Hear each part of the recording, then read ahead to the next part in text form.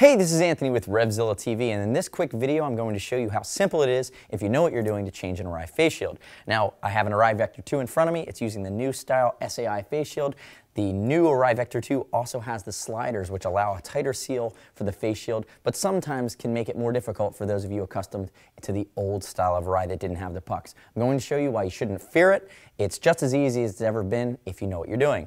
So if we look at a, a helmet, or we look at how it's set up with the face shield, the first thing you're going to notice is when I open it up, on this side, I have a tab that pops out. Depending on your helmet and depending on how broken it is or not, sometimes the tabs don't pop out. If it doesn't pop up like this side did, you just pull it up with your thumb. You can come in tight and see that. So if you pull it up, you need to get those tabs out. You can see it on this side. It pops right out, right underneath the side pod.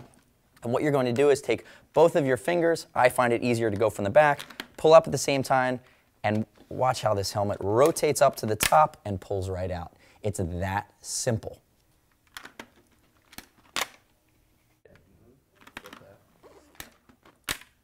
So now that I have my face shield off, I would grab whichever face shield or Pinlock visor I want to change to. And to put a helmet shield back on, a lot of people know how to get it off. This is where some people get a little scared because it's really just a matter of lining it up correctly, but it's pretty easy if you know what to look for. So the first thing I'm going to tell you what to do is you take the top edge of your face shield, and you're going to want to align that at 12 o'clock as it relates to the top of the helmet. So the easiest way to get this on, make sure that face shield is straight up and down, the top edge is at 12 o'clock. And what you do is you basically take this C and you're going to slide it in from the top down at 12 o'clock over the slider and it pops right in.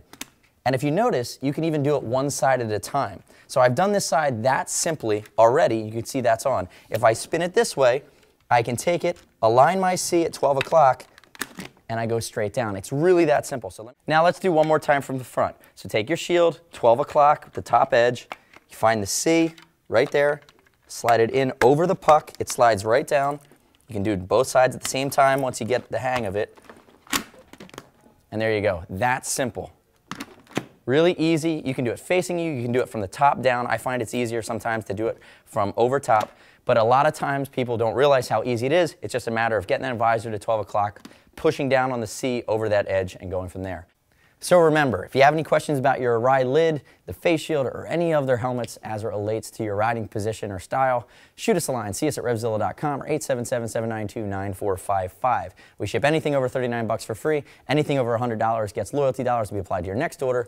We do free size exchanges as well as allowing you to return anything with zero restock fee as long as it's in brand new condition. Thanks for watching our Arai helmet quick change guide today. I'm Anthony. We'll see you next time.